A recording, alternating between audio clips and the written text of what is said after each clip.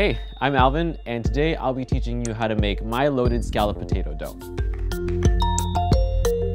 This recipe kind of came about when it was nearing the holidays and everybody loves scallop potatoes. I think it's one of the few dishes where if you bring it to a party, you can guarantee by the time that you leave, that plate is gonna be empty down to the last cheese bit. So during that time of the holidays, I was obsessed with using utensils and pots and pans and different things to make really cool shapes out of other foods that we love and know. One of the tools that I think is super, super underrated is a stainless steel mixing bowl. Because if you get the right kind of stainless steel mixing bowl, these are actually oven safe. You have this amazing hemisphere baking pan. I was like, that's really, really cool. Like maybe I could use this for something.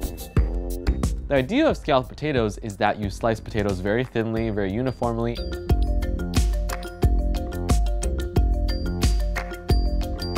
You have like a bechamel sauce, you have some cream, you have some pepper. It's really, really delicious.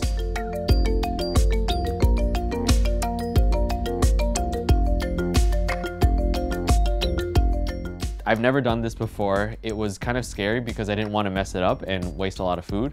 The thing was for this video, I was carefully arranging potato slices so neatly that it took me forever to actually assemble it. I would like place a slice and make sure I had the right slice that would go next to it and cutting it was a pain. So this dish does take a little bit of time to assemble, but I think it comes out with a beautiful result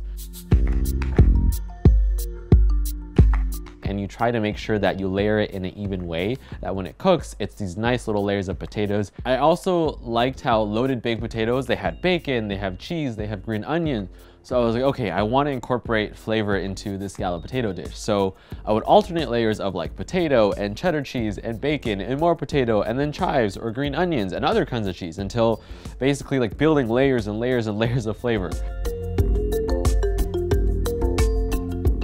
My hope is that by the time the cheese melts, it would actually serve as a glue to keep the whole thing together so that when you flipped it over, it wouldn't fall apart. So that's also why there's that much cheese in there. And cheese and potatoes, holidays, nobody's gonna complain why you have that much cheese in there. But if you're a lactose intolerant, maybe not the right dish for you.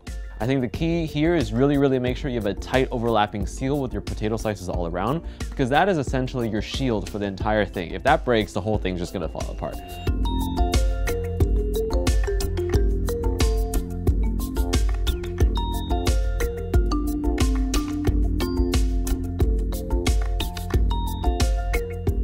Pretty nerve wracking the first time I took it out of the oven because you also have to let it cool for a very long time because you take hot potatoes, cheese, you flip it over, it's gonna go everywhere. The most nerve wracking part for me was when I finally inverted it and like tapped it a bit and felt something plop hard onto a sheet and I was like, this is it. Either half of it's gonna be on the tray or the whole thing's gonna be on the tray. So either I'm going home very happy or very sad.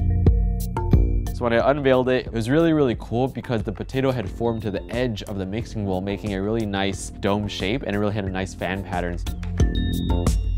After it's flipped onto a tray, I bake it in the oven for a little more just to make sure that the edges can crisp up. Potatoes look delicious and golden brown and crispy.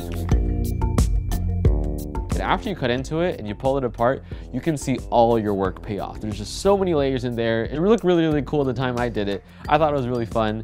And to kind of add in that sauce that we didn't pour as much into, I think you can serve it with the sauce on the side. It's almost like a plated version of scalloped potatoes. I think it just is a different visual way to showcase scalloped potatoes. If you want to put in the extra effort, you can definitely throw in other fillings as well. Just make sure they're not too watery because if they're too watery, it'll cause everything to be a little like watery and we don't want watery potatoes. It is quite a interesting thing to pull off. It does take some time. It's not the easiest dish to make, but I think the results are well worth it. So if you do make it, please let me know because that is an achievement I think that deserves to be seen. So uh, happy potato week. Oh, these lights are bright. Cool.